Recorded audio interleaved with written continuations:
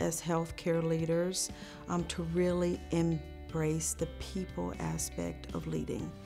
Um, right now, I feel like many times we get so caught up in um, the numbers and the data. I feel like we in healthcare are getting more and more data driven, and we need the data, um, but we need um, a holistic picture. So we need the quantitative and the qualitative aspects of data in order to have a true picture, in order to lead um, the right things in the right direction. If not, we'll be steered in the wrong way. So I think really pulling in people, and especially in healthcare, pulling in patients and families.